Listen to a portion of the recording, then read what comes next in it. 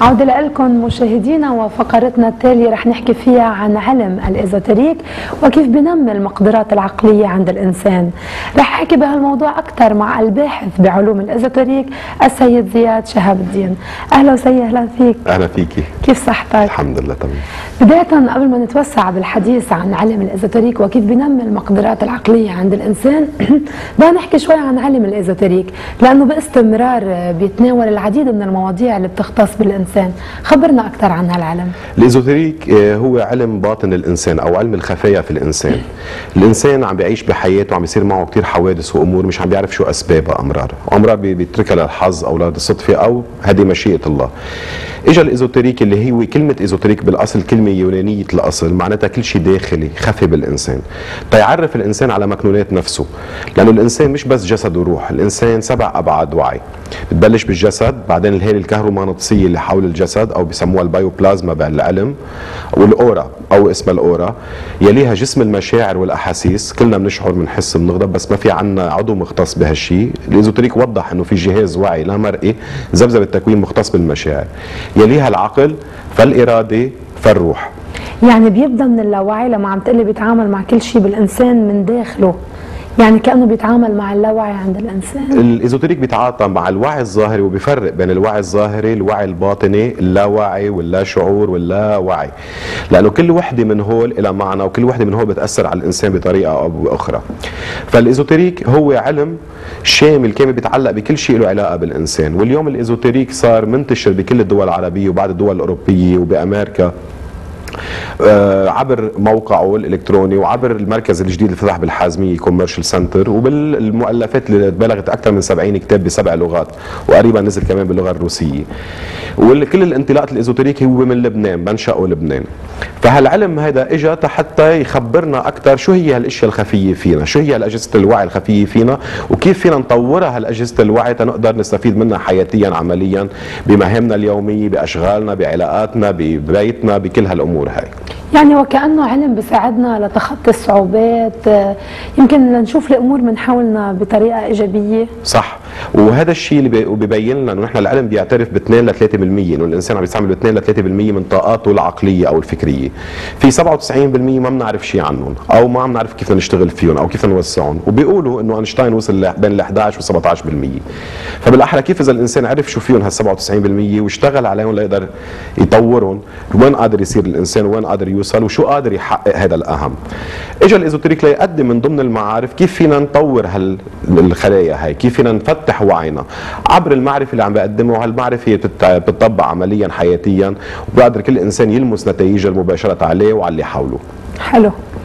حلو كتير آه، فعلا يعني بيساعد آه، إذا 2% بنمط هالحياة السريعة وبنحس حالنا هالقد عم نعطي. كيف إذا بنقرب على 97 وهن 2 أو 3% أو ال 5% هن اللي عم نواجه فيهم مشاكل الحياة وعم نحس ب stress أو ما عم نقدر نتخطاهم. فأصبح إذا بنقدر نعمل شي طريقة نقدر نوصل ل 6 أو 7 أو 8% هدول المشاكل اللي عم نعالجهم ب 3% ونلاقيهم صعبين بالخمسة والستة وال7% رح نلاقيهم كثير سهلين. وهذا هو المنهج العملي اللي واحد من المناهج العملية اللي بقدمها الايزوتريك خاصة عبر سلسلة تعرف إلى تعرف إلى فكرك ذاكرتك وعيك ذكائك وتعرف إلى الحب. نعم. طيب قبل ما نغوص بموضوعنا واللي هو كيف علم الازوتريك بيساعدنا لننمي قدراتنا العقلية بدي أحكي بموضوع هلأ ذكرته واللي هو ال stress اللي بنعاني منه اكثريتنا وأغلبيتنا وخاصة بضغوطات الحياة. كيف علم الازوتريك بيساعدنا لنتخطى هال stress أهم شيء نعرف إنه نحن كل شيء عم نواجهه عم نواجهه بطاقة عقلية معينة أو بطاقة فكرية معينة بمقدرة احتواء معينة. هالمقدره الاحتواء يمكن ما عم نقدر من خلالها نتحمل كل الضغوطات اللي عم تيجي فينا وبنحس ب stress وبنحس آه، أعباء على جسدنا؟ أو شو ممكن تعطينا من effects على جسمنا؟ فوقت اللي بنطور مقدرة الاحتواء ومقدرة الاحتواء بتتطور مع توسيع الوعي حياتيا عمليا. ساعتها صرنا قادرين نحتويها هالمشاكل هاي وما بتقعد تسبب لنا أي مشكلة. تنقدر نوسع وعينا توسيع الوعي بتم عبر أخذ المعرفة معرفة الإنسان وأجهزة وعيه وتطبيقها عمليا من ناحية وعبر تمارين محددة بيقدمها الإزوتريك بمنشوراته وبمحاضراته وبدروس الخاصة بطلابه يلي بتساعد كل مريد إنه يفتح أكثر من طاقته الفكرية يفتح أكثر من طاقاته المشاعرية ومقدرته على الاحتواء حتى هالأمور اللي عم بيصادفها ما بتقعد بتكون ستريس بالنسبة له. وهذا الشيء بيصير عبر تمرين وقادر كل شخص ياخذ أي مؤلف يطبقه عمليا بحياته ويشوف قديش في أمور بتتغير.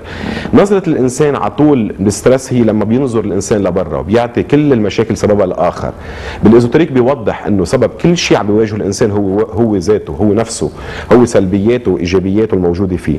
إذا اليوم قدر يطور ايجابياته أو يمكن إذا قدر يتصالح مع ذاته. لا يتصالح معه بده يعرف شو هي نفسه أول شيء لأنه هو مصالح مع ذاته. هون بفرق الإزوتريك بين النفس والذات. النفس هي المشاعر وفكره وجسده. الذات هي الذات العليا فيه اللي هي المحبة والإرادة بالروح. مشان هيك بنقول نحن كل المشاكل هي مشاكل نفسية. ولما الواحد بده يحقق بده يحقق ذاته. بده يتصالح مع حاله. لا يتصالح مع حاله بده يعرف حاله من شو مؤلفة. بده يعرف هو شو سلبياته وشو إيجابياته. كيف في يغير سلبياته لإيجابياته؟ كيف يطور إيجابياته؟ ويقويها ساعتها بيوصل وبينعم بالهدوء الداخلي وساعتها قادر يحتوي كثير قصص بحياته وكثير مشاكل بحياته. والأهم مثل ما كنا عم نقول إنه كل ما طبق هالمعرفة بحياته عمليا رح يتلمس نتائجها كل ما قدر يوسع وعيه فيها ويعمق وعيه فيها ساعتها قادر أكثر وأكثر وأكثر يتطور بشغله لأنه صار قادر ياخذ مهمات أكثر صار قادر يتطور بحياته بحياته العاطفية حياته الاجتماعية وبكل النواحي هاي. طب لنغوص بعلم الازوتيريك ونوصل للي عم تحكي عنه اللي هو نقدر نشوف سلبياتنا ونحولها لإيجابيات وحتى الإيجابيات نطورها هل هالشيء بده يستغرق وقت أبداً. وهل هو فقط بيقتصر على قراءة الكتب آه، الانتساب للمحاضرات وتطبيق التمارين اللي عم تخبرني عنها؟ هو بالمبدأ ما بده وقت لأنه الإنسان بالإزوتريك هو منهج نهج حياتي طريقة حياة. أنا وقاعد أنا وعم سوق سيارتي أنا وبمكتبي في أعرف شو عم بيصير معي في أعرف إنه هلأ عم بعصب وليش عم بعصب وشو هي سبب العصبية اللي عندي. قادر أشوف ليش أنا مثلا هلأ عم بحقد أو بكره أو بغار. لأنه هاي الأحاسيس عم تمرق معي أنا وبحياتي. فما بدي أنعزل عن الحياة لإدرس إزوتريك. بدي أقرأ الإزوتريك تا أفهم كيف فيي عالج هالأحاسيس اللي عندي وهالأفكار اللي عندي الأفكار السلبية ممكن تكون بيومياتي بحياتي اليومية وكيف أنا وبحياتي اليومية اقلبها لايجابي وطبقها مع الآخر وطبقها أول شيء مع نفسي. من هيك ما بدها وقت كإيزوتريك ما بده يستغرق كثير وقت. أهم شيء إنه أي إنسان مريد لازم أول شيء يتعرف على حاله يتعرف على الكتالوج اللي اسمه الإنسان. وليتعرف على حاله من جوا بده شيء يساعده. والازوتريك اجى يضوي له على حاله من جوا. ساعتها وقت اللي بيشوف حاله هو من جوا وكيف هو بيتصرف كيف بيشتغل الباطن فيه. ساعتها قادر إنه هو يبلش يتعلم كيف يكون عنده سيادة على حاله ويقدر يسيطر على أفكاره وعلى مشاعره وعلى أحاسيسه وعلى تصرفاته وعلى سلوكياته ومن بعدها يقدر يطوعها مثل ما هو بده بالمنحى الايجابي ويتطور بحياته. فمنا القصة بتستغرق وقت ومنا بس محصورة. أهم شغلة لو قري كل الكتب لو حضر كل المحاضرات ما حيتطور رح ياخذ عنده معلومات. الأهم إنه يطبق هالشيء حياتيا لأنه الوعي لا يكتسب إلا عبر التطبيق العملي. نعم. وتفتيح المقدرات العقلية خاصة ما حيتم إلا عبر التمرين وعبر التطبيق العملي الحياتي. يعني إذا قري الكتب مثل ما ذكرت وحضر التمارين المفروض القرار يكون نابع من تلقاء ذاته إنه هو بده يتغير بده يتحسن. نعم. وهذا الأهم شيء بنعرف نحن كلنا بنروح على النادي تنعمل رياضة تنظبط جسمنا. اليوم الإزوتريك هو رياضة فكرية وعقلية ونفسية ونفسانية بيقدر كل إنسان يتزاولها بكل لحظة بحياته تيطور المناحي الثانية اللي فيه لأنه الإنسان مش بس جسد. يعني اليوم إذا عمل كثير رياضة وضله يعصب رح يمرض. إذا عمل كثير رياضة و sport وضله عنده stress كمان رح يمرض قد ما جرب يشيلهم. الأساس هو من جوا من الباطن من الداخل. فخلينا نعمل نطلع جوا ونعطي رياضة لجوا لحتى نتطور من جوا. وبنرجع بنقول إنه أساس كل هالعملية هو الفكر وهو أد- أداة العقل من فكر من ذاكرة من تركيز من ذكاء. وشحذ كل مقدرة من هالمقدرات هي لها دروس خصوصية بالإزوتريك وإلها نهج معين بالإزوتريك بيقدر كل واحد يطلع فيها. ويمكن بسلسلة تعرف بأن عندنا الكتب نحن قدامنا تعرف إلى ذاكرتك مثلا. فيها كثير تمارين تطبيقية عملية ومنهج لكيف نقوي الذاكرة وشو أنواع الذاكرة الموجودة عند الإنسان وكيف يطورها. كمان تعرف إلى فكرك كمان بأول الناحيه الثانية من العقل اللي هي الفكر. عبر القاعدة الرباعية اللي بيقدمها وعبر التمارين التطبيقية اللي بآخر كتاب. تعرف إلى ذكائك هو كمان كتاب بيقوي الذكاء وبيعلمنا كيف نشحذ الذكاء فيه لأنه في فرق بين الذاكرة والذكاء وبين الفكر والذكاء الفكر القوي. تعرف إلى وعيك كمان كيف كتاب منهج عملي كيف نطور وعينا ونوسعه. وأخيرا في اللي هو الأهم لأنه قد ما قويت قوي الفكر. إذا ما قويت المشاعر مزامنة معه مشان هيك بيجي كتاب تعرف إلى الحب ليعلمنا كيف أصول تنمية الحب الواعي بحياة الإنسان. كيف يأسس حياته بطريقة مضبوطه لأنه أهم شيء يخلق التوازن بين الفكر والمشاعر. قد ما يقوى الفكر لازم يكون كمان عم تقوى المشاعر معه. وهيك بيتطور المقدره مقدرات الإنسان وأهم شيء مقدراته العقلية والنفسية. يعني هالسلسلة المترابطة وهالترابط إذا فينا نقول بين هالأعضاء كلها جسدتوها بهالكتب. يعني لكل المشاهدين اللي حابين يتغير تتغير حياتهم فيهم يحصلوا على الخمس كتب. مش بس إيه خمسة. بتعطيهم نسبة إنه رح تتغير حياتهم؟ قديش بيطبق قديش بيتغير؟ بحب ذكر إنه إحنا عندنا 70 كتاب. يمكن لأنه اليوم الحلقة عن المقدرات العقلية ركزنا عليهم بس كل الكتب تتعاطى بالمقدرات العقلية والمشاعرية والجسدية وتوسيع الوعي.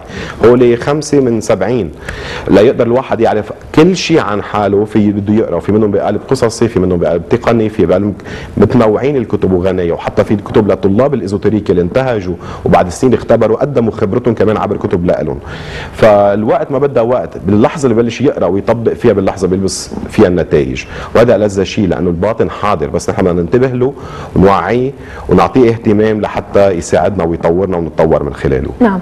نظرا لأنك ركزت كثير على إنه العقل هو الأساس سواء للتغيير سواء للتعامل مع كل الأمور اللي بتصير من حولنا.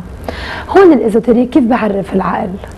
العقل هو جهاز وعي خفي لمرئي ذبذبية تكوين نصه موجود بالنفس الدنيا اللي قلنا بيتأثر عبر الفكر بالمشاعر وبالجسد والنص الثاني اللي له علاقة بالإبداع وبالخلق وبالحدس وبهالأمور المت- المتقدمة كمان موجود بالذات العليا أو بينتمي للذات العليا.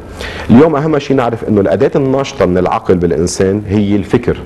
فإذا قدر يطوع فكره قدر يسيطر على فكره قدر يحط فكره بمنحى إيجابي ساعتها قادر هو إنه يقدر يسيطر على كل شيء موجود بكيانه. اليوم إذا الواحد بيعصب ما في شيء العصبية عن طريق الفكر. إذا اليوم نحن بنعطي مثل كتير بسيط إذا بناخذ من 10 سنين الأشياء اللي كانت تعصبنا اليوم نطلع فيها بنقول ليش كنا نعصب عليها؟ مش لأنه تغيرت الحالة أو الحدث اللي تغير الوحيد إنه توسع وعينا وقوي فكرنا حتى عبر تجربة. نظرتنا للموضوع تغيرت. فأصبح كل شيء عم يبلش عبر الفكر. معناتها اليوم إذا باخذ هذا الفكر وبقوي وبنشطه وبقوي معه الذاكرة والتركيز والذكاء والوعي وكل هالمعدات اللي معه صرت قادر سيطر على مشاعري صرت قادر سيطر على جسدي صرت قادر طوع جسدي شو اللي منيح شو اللي مش منيح لإله مشاعري كيف بدي اياها تتجه بأي اتجاه تروح. كل الأساس القائد العملية كلها هو الفكر. فاليوم الايزوتريك يمكن هو المدرسة الوحيدة اللي بتركز غير عن التأمل غير لأنه موجودين كلهم كمنهج بالايزوتريك بتركز أهم شيء على تقوية الفكر بالإنسان لأنه كل مشاكلنا بالحياة أو قدر عدم قدرتنا على مواجهة المشاكل بالحياة هي من نتيجة الضعف الفكري. قديش الفكر قوي قديش سريع قديش واعي قديش قادرين نحن نواجه فيه كل شيء. طب كيف الازوتريك رح يساعدني إني أقوي هال هالعقل؟ عم بتقلي في تمارين تطبيقية. نعم. هالتمارين هي عبارة عن شو؟ هالتمارين هي تمارين نفسية. بدي اعطيك مثل. اليوم نحن مثلا عن طريق الفكر معودين إنه نفكر ونستنتج. أو نحلل ونستنتج أو أمرار نقارن ونميز ونستنتج. اجى الايزوتريك ليقدم قاعدة رباعية. كل واحد لازم يمرن فكره على هيدي القاعدة ليكون استنتاجه مزبوط اللي هي تفكير تحليل تمييز استنتاج. وقت اللي بفكر بالأول بعدين بحلل بعدين بميز وبوصل للاستنتاج بيكون استنتاجي مزبوط الفكر لما بتعود فكري يفكر بكل شيء عم يصادفني بالحياة بطريقة إيجابية عم بيقوى هذا الفكر. وطبعا في تمارين كتير بآخر كل كتاب خمس ست تمارين اللي هي بتخلي كل واحد لمدة خمس دقائق باليوم يعمل هالتمارين ويشوف قديش فكره عم يتطور قديش آه، ذاكرته عم تتطور قديش ذكائه عم يتطور قديش وعيه عم يتوسع وصار قادر يشوف إشياء أكثر هذه وحدة من الأمثال والأمثال عديدة. بس أهم شيء نعرف كيف الفكر بيشتغل ونعرف شو هي القاعدة اللي لازم نشغل فكرنا عليه والطريقة اللي بتخلينا نشتغل من خلالها لنقدر نوصل لفكر أقوى. حلو. حمسنا كثير المشاهدين ليتعرفوا على علم الازوتريك لكل الأشخاص اللي بحبوا يروحوا على المحاضرات ويعرفوا هالعلم أكثر ويتوسعوا فيه. نحن محاضراتنا تقريبا عم بتصير بكل المناطق اللبنانية بس بالأخص عم بيصفي كل جمعة رابعة من كل شهر السبت الأول من كل شهر والتنين الثالث من كل شهر بمركزنا بالحازمية بالحازمية commercial center على الطابق الأول. فاذا الجمعة الرابعة الكل التنين الثالث والسبت الأول من كل شهر. يعني السبت الجاي ال- بواحد الشهر بيكون في عنا كمان محاضرة بالمركز والدعوة مفتوحة للجميع. واللي بحب أكثر يستفسر عن العنوان فينا نترك رقمنا 03 77 3342 أو 03 302 972 وبنقول لهم أهلا وسهلا بكل حاب اللي حابين يعرفوا أكثر عن العلوم. نعم.